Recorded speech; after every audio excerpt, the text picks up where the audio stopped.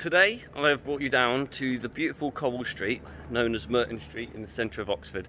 We have Merton College just there, University College just past these buildings, um, and then some. A lot of this is owned by Corpus Christi, with obviously Corpus Christi down the far end there.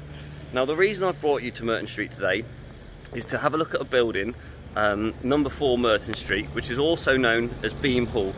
Now, Beam Hall is uh, an important place because it was the um, it was the office for a gentleman called Thomas Willis. Little plaque up there, which we'll have a look at together in a second.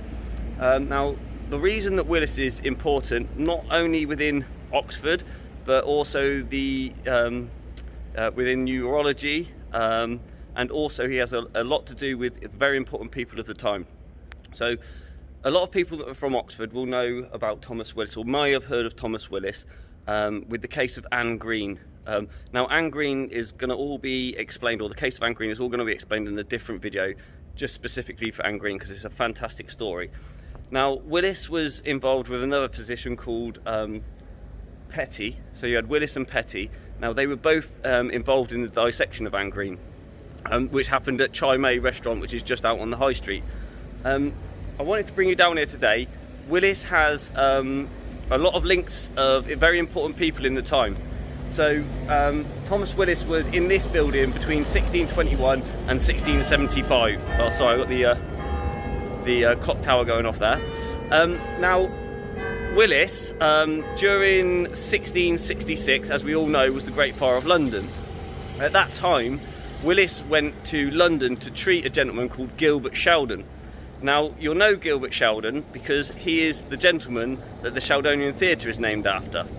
And the way that they all link up together is that Christopher Wren, the well-known architect who designed 10 Downing Street and I think St Paul's Cathedral, um, in fact I think he, he designed half of London after the Great Fire. Now, um, Christopher Wren, he designed the Sheldonian Theatre, which is where uh, a lot of the students um, have their graduation ceremony in the centre of Oxford. Now, um, Christopher Wren also um, did some very important drawings for Willis.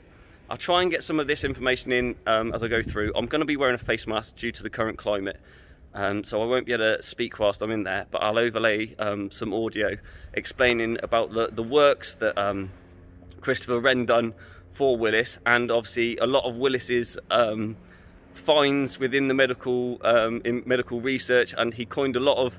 in fact, Willis found or or determined a lot of different neurological um, problems to, to modern day illnesses. So I do believe that he found a certain type of diabetes. Um, he coined asthma, or the, you know, not the term asthma, because I believe it was called um, Willis disease one or Willis disease two. Um, it was one of the two ways round. Again, I'll put the information on in the correct way round as I go do the overlay. Um, but I flip it round, I'll show you the plaque, and then we'll have a wander through, and I'll show you not necessarily too much of Willis, but mainly of the building, but with some Willis involved, because I, I believe Beam Hall was it's about a 14th or 15th century building. Um, there was a building on it before, um, but that obviously got knocked down, um, and then this was built in I think about the 15th century, about 1495 or something, so right on the on the cusp of the two. Um, so yeah, I'll flip the, the camera on now and we'll have a wander through um, with a bit of history of the building and some of Willis's history. Um, yeah, okay, I hope you enjoy this video. As I said, Beam Hall is out on Merton Street. So to the right of me, which is to the east of Oxford, we've got um, Merton College on your right hand side. A little bit further down where that sort of pinkish building is, is University College, or out the back of there is University College. And then I do believe that's the stables, Merton Stables. Then we've got number four, Beam Hall. We do know a bit of history of next door, number three, but today we're concentrating on Willis's offices, which were, were inside Beam Hall. Just wait for this, this van to go past. Okay, as you can see, the road is beautifully cobbled it is one of Oxford's finest cobbled streets. I don't know the date of the cobbles, but it is, um, if you're ever pregnant and you need a, a baby rattled out of you, this is a wonderful place to bring a pregnant lady in a car. Um, so let's have a look at the plaque together. As I said, Thomas Willis was in this um, house uh, between 1621 and 1675. He was a neurologist and Sedleian professor of, neuro, of natural philosophy. Lived and worked here in 1657 to 1667. Okay, so he didn't, he wasn't here during 1621. Um, he was here during 1657 and 1667. Um, Beam Hall, formerly known as Beam Hall, named for Gilbert le Beam, 9th Chancellor of Oxford University, 1246, owner of an earlier building on this site. As I said, this building has been rebuilt, um, but this is the current, the current building. You can see from the outside um, that a lot of the bricks are not uniform, they are all different shapes, and it adds to the character of the building. You can see here where there was an old arch, so the, the old windows looked like they were in an arch formation and now we've got these modern prison looking bars on the outside. Um, it looks as if the pointing has obviously been redone at some point because it's very uh, prominent. But as I said, you can see that there was no um, uniform bricks used back then. It was literally what you could get your hands on. We've got these wall ties in. Now, a wall tie um, would tend to have been put in after the building um, to stop the walls from bowing outwards. Um, I'm not sure if they were ever put in an original buildings. You would have thought they would have just allowed for that within the main building structure. Uh, this looks like a reasonably original window. Um, what I always like about these is a lot of the chisel marks that they, they've left in. You can see the, the pitting on the stone, uh, especially around the lintel at the top. It's absolutely beautiful bit more uniformed up the centre. Again, it doesn't look like original glass because it's far too uniform to be original glass. We have one more window down here, is very similar to the last one, so I won't spend too much time on it. But again, you can see more of the pointing as we go over. Right, we now have a wander inside. Um, I'm going to put my mask on. Hopefully you can hear some of the stuff that I'm saying. Right, so again, this door doesn't seem very old. It's very, uh, sorry if the audio's changed, we've come into a bit of a box room now. It's a bit um, echoing in here. Right, and I can't find a light switch. Oh, there's a light switch. Okay, so again, a bit featureless in here. It looks as if we've got some um, original bit of woodwork here. Um, some lovely sort of oak um, spindles. Um, we've got these fantastic um, short doors. Obviously, doors weren't made full height at six foot six as they are now. I mean, this is I'm five foot ten, and they're about five foot ten. These doors, so they're very very small. Um, again, this is a staircase that goes down into the basement. I'm not sure. Oh, still got that open. Okay, I'll take you a little walk down there quickly. So we've got some very steep steps going down to the basement. A bit of the old woodwork there. Got a bit of an initial there, but not sure whether that was the electrician or the uh, original um, workers. As you can see, the steps have been strengthened over time. You've got the original slope on the steps and then they've got new tops on them. Um, bit of a original beams looks there and they they sit down on this lovely Lovely little stone plinth there. A couple of modern steps down the bottom. Obviously, a lot of the basements now are used for boiler rooms. You can see some of the original stonework out the back. Um, we've got a beautiful chest down here. Absolutely beautiful. The old travel travel chunk, trunks, sorry, as it were. It says on the side when it was. See if it hasn't gone, it just says it was railway, but that is beautifully constructed. Beautiful bit of wood. Got these wood spines at the top and then they're, they're strengthened on the corners with a bit of steel um, just to make it last. And seemingly looks like it's lasted a long time. Um, now, there's not much to see down here. That wall's obviously been tanked out a little bit. And then we're coming down here. Um, we just have some boiler rooms. It doesn't do much. It's a lot of modern brickwork and round. So there's not much to see down here, but I thought as we were here, we may as well make the journey together. Right, so I'll come back up out of here. Again, we've got an office there, which is very small. That there, I believe, is a toilet. Yeah, so we've got a toilet there. Again, a lot of the original features you can't see now. Um, the staircases are beautifully ununiformed. Um, we've got this beautiful woodwork as we go up and the old lath and plaster plaster work. Okay, now as we go up, we've got another spiral staircase that goes up to our left, which is beautiful and original and Tudor-esque um, woodwork that's on display. Lovely black with white plaster work. Okay, so this is one of the um, the rooms. These are just set up as bedrooms now. Um, you can see this is the inside of one of the outside windows, and that is Merton College. You can see on the outside.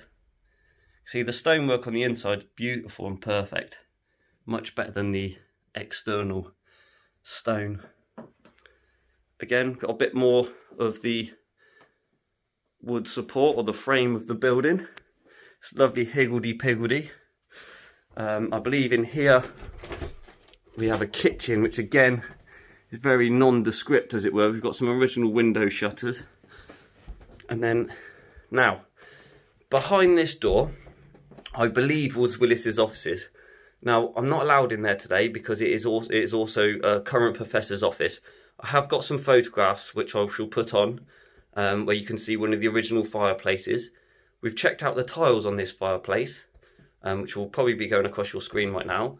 Um, and we believe that they're 16th century. So if anyone knows any different, please let me know in the comments.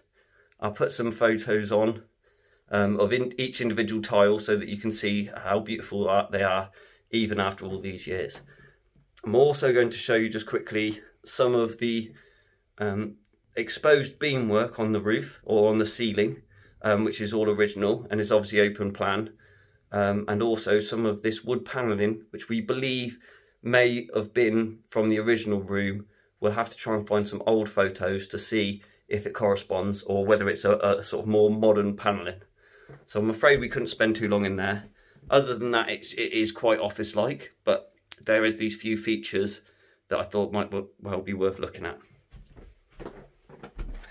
As we come away from um, what I believe is Willis's office, we have this original door.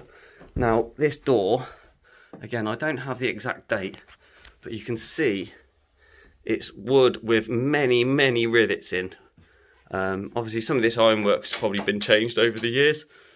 We've got a beautiful little iron handle. Now, that looks very ununiform so may well be original. I'll just take it off of its latch so you can have a look at the back of the construction. It's just a little bit rougher. We've got these beautiful hinges. Well, in fact, they look like modern hinges. You can see where the original hinge would have been, um, but now we've relied on these more modern hinges. Um, we've obviously installed one halfway down the door as well. Now this is a lovely little feature. That is so, it can close on the step. Now, being that that is a slight step up, I'm probably in beam hall at the moment, but would probably going up that step be in number three. Um, so I open this door back up and we will have a little, little wander upstairs. So there isn't much up here. So like, as I said, this is number three and I think it just goes into a bathroom. But again, some beautiful stonework around the window but not much in uh, historic things to look at. So I'm now going back up. I'm now back in Beam Hall. And we've got this beautiful as I say woodwork exposed woodwork as we go up the stairs. Um, we now will be going into what would be the roof space. And then we come out. Now we have an office on our left um, and more offices on our right. I won't go into them because they're currently occupied. Uh, again, you can see more of the original woodwork up there. Some of it's now been painted blue.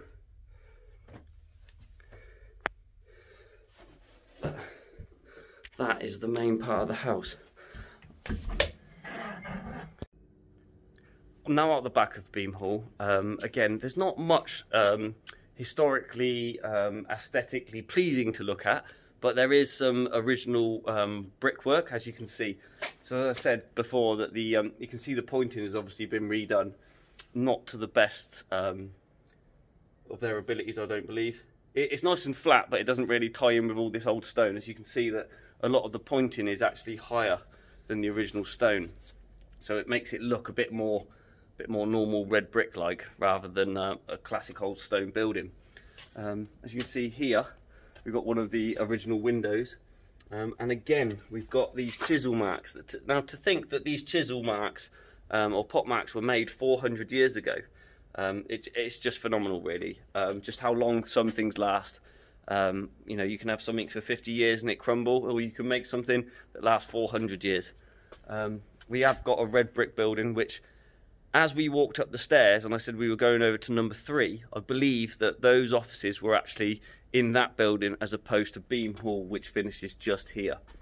Um, there isn't much. I mean, you can. I don't know if you can see that up there. That that window's quite ununiform. It actually sits back on on quite a bit of an angle. It's probably about a 15 degree angle as it goes back. Um, and again, as we take a wander over here, you can see uh, just up there just how many chisel marks there are. I mean, it almost looks as if if that lintel there was made in two, which doesn't really make sense because the whole strength of a lintel is that it's made in one and, it, and it's load bearing. So having a split down the centre, as that one does, doesn't make it very load bearing. Um, we've got beautiful, again, if you can see that there, a four window in a straight line. Uh, again, looks a bit more um, original, more so than this section here, which is obviously an extension. We didn't go in there because, again, that is an office, so we, we didn't want to um, tread on anyone's works because they tend to be filled up with um, with books and um, papers. Now, it's got a beautiful English garden, and it's a beautiful day to, to show you. I mean, I say beautiful. There's a lack of grass. Um, it's very dusty around there. Um, but I'll just take you over this way quickly because uh, you may have seen on another one of my videos, or you may well watch it after this video, but just out the back of Beam Hall, we have Kybald Street. Now, Kybald Street um, used to run all the way to Logic Lane. You, if you've watched my other videos, you know that Logic Lane um, had Kybald Street coming off of it, but it's now been overtaken by University College. So you, it's a dead-end street now, so it only stops just up there. I think these are badminton courts or squash courts for University College. Now this is Kybald Twitchen, Kybald Twitchen is where the prostitutes plied their trade. We're going to go in there today um, and do a bit of filming. So again, if you watch my video on Magpie Lane, um, which will be a fascinating little video, it won't be very long, but it's a fascinating little video. We're going to have a little look in there and, and see exactly um, what it's like, because uh, many men would have frequented that building back in the day. Not me and Russell, mind you, but some maybe some lesser men. I can't judge. But okay, well, I'm, I'm, i hope that you've um, enjoyed coming to Beam Hall today and having a little look around. I know it's not the, the most, as I said, aesthetically pleasing building, but it is historically important because it was where Willis um, had his offices. Um, again, I will try and find out some more information and try and overlay it. I don't always find out any more information, it depends. Um, but if I can, I'll put some more information on there. So thanks for coming with me today. Um, and thanks for coming and listening to a gentleman who was very important um, and as hopefully you would have seen through the video um, was was very important to medicine um, and also had many links as I say with Christopher Wren. One of the main things that Christopher Wren done for Willis is now Willis wasn't necessarily the first person to describe this certain part or he wasn't necessarily have the, the, the best description of it. Um, but what he did do is Willis got Christopher Wren to do the drawings for him of a certain part of the brain, which is now known as the Willis Circle. And it's a group of, uh, it's, it's, a nerve that goes around in a circle at the base of your brain. Um, and it's a very important nerve. Now, because of obviously Christopher Wren's importance within um, within history, medicine, art, architecture, um, it's it's Willis's image and Willis's documentation of the Willis Circle that has stuck, hence it's got the name Willis Circle. Um, so yeah, so what what things teach you in life is it's not what you know, it's who you know. And Willis knew Christopher Wren, so quids in for him because 400 years later, he's still regarded as a very important person within the um, um, neurology departments and history and medicine. So I hope you've enjoyed learning about him today as much as I did. Enjoy the rest of your day. Remember to stay safe. We're in the most unprecedented times of our age. So do the things that you love, but stay safe. I hope you enjoyed this video and I'll see you again soon.